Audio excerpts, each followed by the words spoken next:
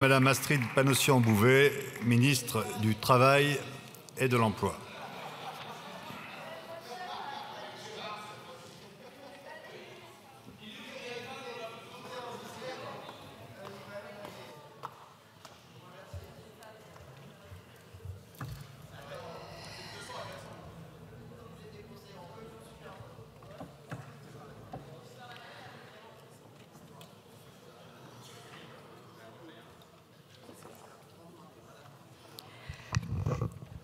Monsieur le Président, Monsieur le rapporteur général, Mesdames et Messieurs les rapporteurs, Mesdames et Messieurs les députés, nous délibérons sous le regard des citoyens, mais comme ministre du Travail et de l'Emploi, je travaille pour les salariés, les futurs salariés, les employeurs et les retraités de notre pays. Et nous avons ensemble la responsabilité de protéger notre modèle social, de le rendre plus efficace et d'en garantir la durabilité. Beaucoup de choses ont été dites par mes collègues et je vais vous présenter les éléments du PLFSS pour ce qui concerne l'emploi et le travail, en les inscrivant dans une feuille de route plus large, les deux budgets de la nation, PLF et PLFSS, formant un tout cohérent. La source principale de financement de la sécurité sociale, comme vous le savez, reste les contributions des employeurs et des salariés. Il s'agit d'un choix historique ancien, et même si la situation a évolué depuis les années 90, c'est le travail et l'activité qui financent aujourd'hui notre protection sociale. Les cotisations sociales assises sur les salaires représentent aujourd'hui 54% des ressources de la protection sociale de notre pays. Personne ne peut se satisfaire ni du niveau du coût du travail, ni que notre modèle social soit aujourd'hui financé par le déficit et par l'emprunt. Il nous faut donc travailler plus et mieux, plus longtemps, en meilleure santé, pour financer nos investissements d'avenir et notre protection sociale. Ministre du Travail et de l'Emploi, mon rôle est d'abord de faire en sorte que l'économie crée des emplois et préserve les emplois existants.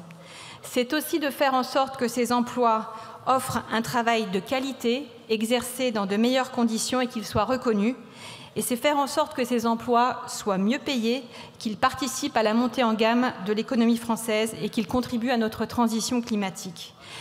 Avec ces grands objectifs en tête, mon premier axe reste l'emploi des jeunes et des seniors et de tous ceux qui sont éloignés de l'emploi. Et nos choix budgétaires témoignent d'un soutien continu aux opérateurs et aux outils efficaces des politiques de l'emploi. Je pense ici à France Travail, à l'insertion par l'activité économique, l'IAE, dont les moyens sont globalement stables, ou à l'apprentissage qui va contribuer, qui va continuer de bénéficier d'un budget très conséquent par rapport à ses niveaux historiques. Le niveau de financement public de l'apprentissage en France est au moins équivalent aux mieux disants européens, allemands et suisses. Faut-il ici le rappeler? Je fais ici une incise. Le soutien le soutien public à l'apprentissage, je suis d'accord. Le soutien public à l'apprentissage est inscrit dans le PLF pour plus de 14 milliards, mais nous aurons aussi à débattre dans ce PLFSS des exonérations des cotisations salariales pour les apprentis. Il s'agit d'une mesure sensible, s'agissant souvent de la première feuille de paye ou du premier contrat de travail. Il faut trouver une formule équitable pour les apprentis actuellement en poste, une formule praticable pour les entreprises et nous soutiendrons les initiatives parlementaires en ce sens. Toujours au chapitre emploi, nous avons pris avec le Premier ministre l'initiative de relancer la négociation sur l'assurance chômage avec le sujet de l'emploi des seniors. Et c'est pourquoi j'ai écrit une lettre aux partenaires sociaux les invitant à reprendre l'accord qu'ils avaient élaboré et signé en novembre 2023. Je tiens à ce que les partenaires sociaux s'emparent aussi de la question des retraites progressives, moins de 1% des retraites progressives, et c'est très insuffisant dans notre pays, alors que ce dispositif est très efficace et très utile par ailleurs dans les pays scandinaves qui ont réussi le pari de l'activité des seniors. Après l'emploi, mon deuxième axe, c'est celui du pouvoir d'achat des travailleurs. Ce premier PLFSS de la législature ouvre enfin le chantier des bas salaires le SMIC ne doit pas être un salaire à vie, cela semble une évidence, mais ça n'est pas le cas aujourd'hui. De très nombreux salariés se retrouvent coincés au SMIC ou juste au-dessus pendant des années. Nous devons avoir la lucidité de reconnaître qu'une bonne partie, une bonne politique de l'emploi construite à un moment donné peut comporter aujourd'hui des effets de bord qui ne sont plus soutenables. En effet, depuis 30 ans, depuis 30 ans, gauche comme droite, nous avons empilé des dispositifs avec deux objectifs louables, soutenir l'emploi peu qualifié et euh, soutenir également la compétitivité de nos entreprises. Mais au final, 30 ans après, nous avons constitué aussi des trappes à bas salaire et un système inflationniste en matière d'aide aux entreprises. Poser la question du soutien public est nécessaire tout simplement pour que le système soit soutenable. Notre objectif est donc de remettre en route la progression salariale, qui est aussi un moyen de promouvoir la progression dans l'entreprise et donc de stimuler l'effort de formation, la montée en gamme et les gains en productivité.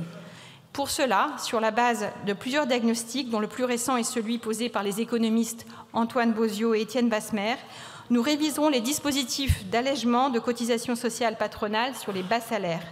Nous, nous, proposerons de procéder à une baisse de ces allègements entre 1 et 1,2 SMIC et une hausse des exonérations entre 1,3 et 1,9 SMIC. Cette année, nous proposons de commencer par une baisse de 2 points sur les 40 points d'exonération au niveau du SMIC, avant une nouvelle baisse de 2 points supplémentaires l'année prochaine.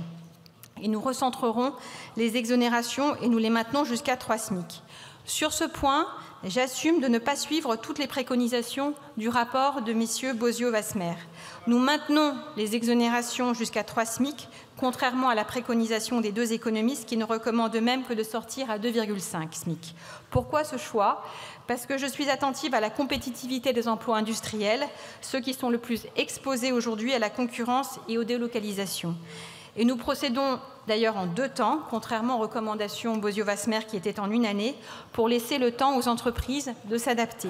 Cette progressivité permettra de rester vigilant quant aux effets de bord.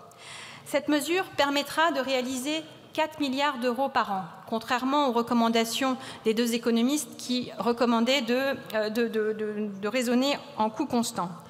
À ceux qui reprochent les économies attendues, je rappelle que nous parlons de 4 milliards d'euros sur un total d'aide aux entreprises de 78,7 milliards d'euros, nettement plus, pour comparaison, que les crédits du ministère de l'Éducation nationale à 64,5 milliards d'euros et plus de 2,5 points de PIB.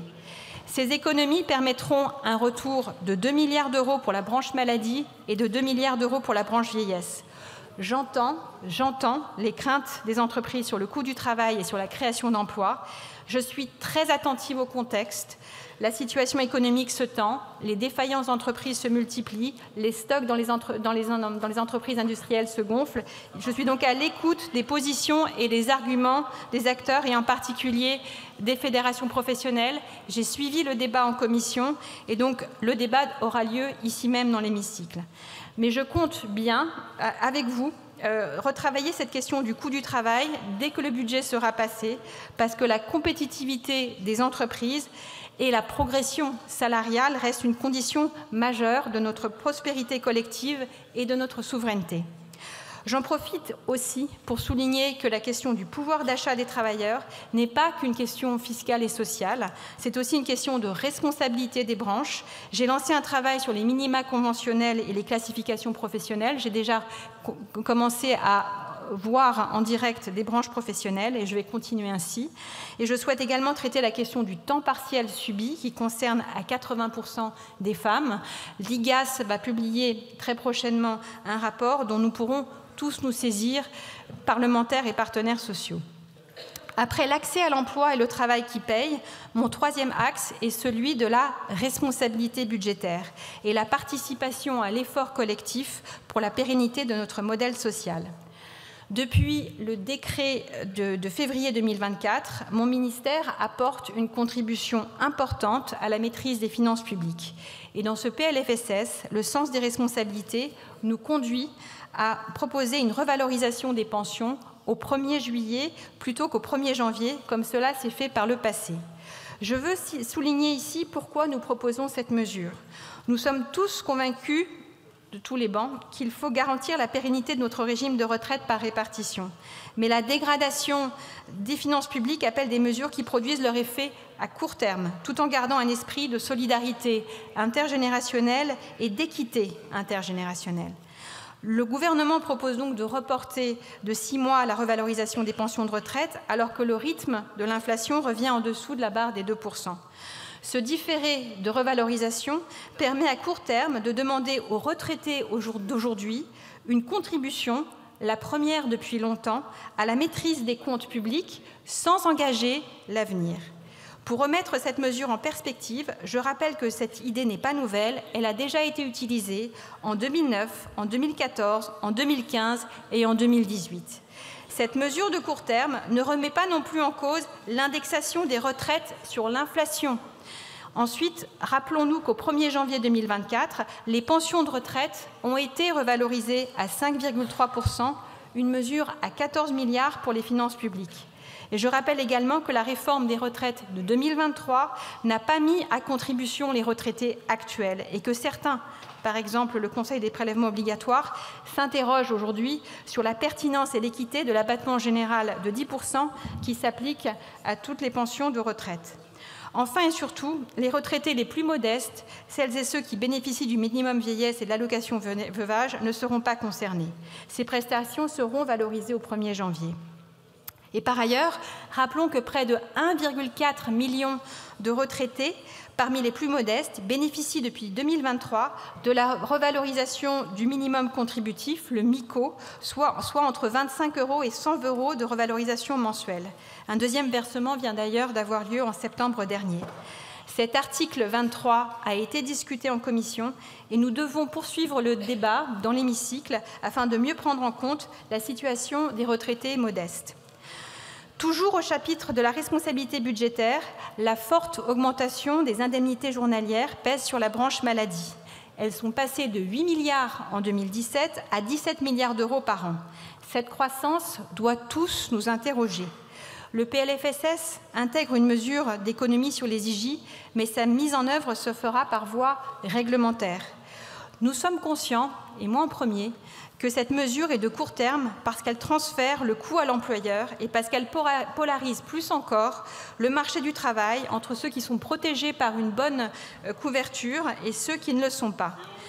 Et nous devons donc examiner avec les partenaires sociaux et les fédérations professionnelles le système des indemnités journalières afin de trouver le juste équilibre entre responsabilité individuelle, responsabilité de l'entreprise et solidarité nationale la question du coût des indemnités journalières doit s'inscrire dans une discussion beaucoup plus large sur la santé au travail.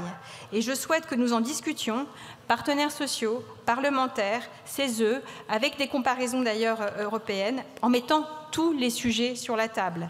Les conditions de travail, la prévention, l'absentéisme, la prescription d'arrêt de travail par les plateformes, le dialogue social de proximité. Enfin, Quatrième axe après l'emploi, le travail qui paye et la responsabilité budgétaire, eh bien, il y a l'intégration dans le droit des mesures importantes de justice sociale. Ce PLFSS 2025 est aussi l'occasion de mettre en œuvre plusieurs réformes très très attendues dans le monde agricole qui permettront notamment d'améliorer les retraites des agriculteurs non salariés. Je pense bien sûr à la pérennisation de la hausse des cotisations patronales sur le travail saisonnier et au cumul des dispositifs d'exonération de cotisations au moment de l'installation pour l'installation des jeunes agriculteurs. Mais surtout, ce PLFSS est l'occasion de la mise en œuvre de la réforme des retraites, retraites agricoles, très attendue par les professionnels.